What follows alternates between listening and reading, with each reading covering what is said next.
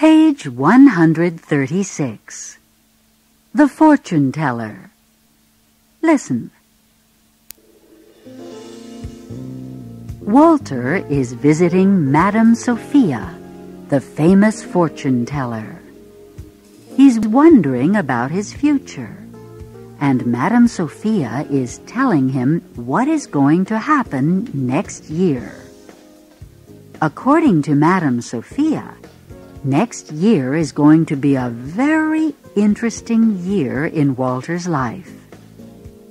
In January, he's going to meet a very nice woman and fall in love. In February, he's going to get married.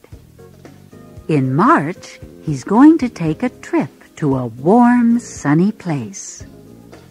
In April, he's going to have a bad cold. In May, his parents are going to move to a beautiful city in California. In June, there's going to be a fire in his apartment building, and he's going to have to find a new place to live.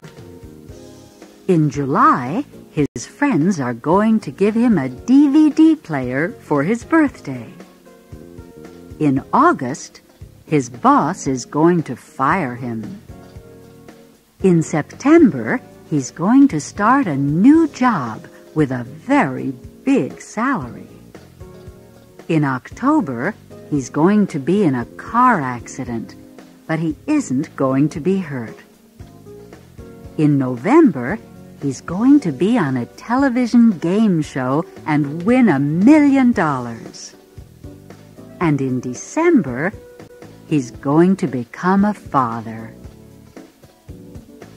According to Madame Sophia, a lot is going to happen in Walter's life next year. But Walter isn't sure he believes any of this. He doesn't believe in fortunes or foretellers. But in January, he's going to get a haircut and buy a lot of new clothes, just in case Madame Sophia is right and he meets a wonderful woman and falls in love.